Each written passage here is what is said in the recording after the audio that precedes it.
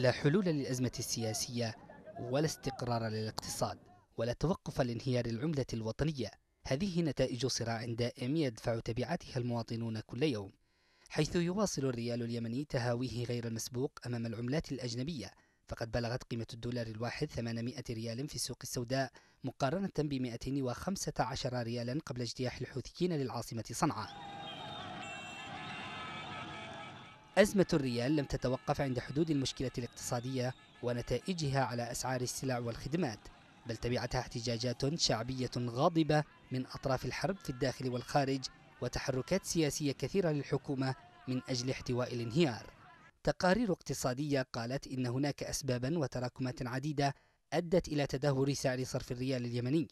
أبرزها الانقلاب الحوثي ودخول البلاد في دوامة الحسابات السياسية بسبب التحالف وبالتالي تعطيل عمل الدولة ومؤسساتها الاقتصادية وعدم تمكين الحكومة من السيطرة على مواردها السيادية.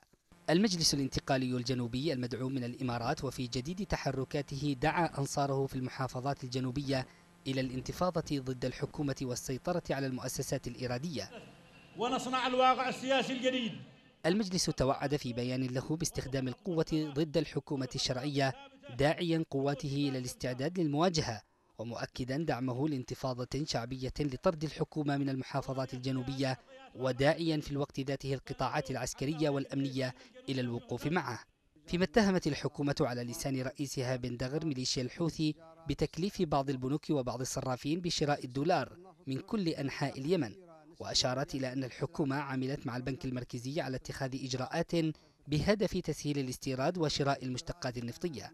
فوضى وتوتر كبير يحيط بالمشهد في صنعاء وعدن بسبب أزمة العملة وانتشار غير مسبوق لمحلات الصرافة غير المرخصة.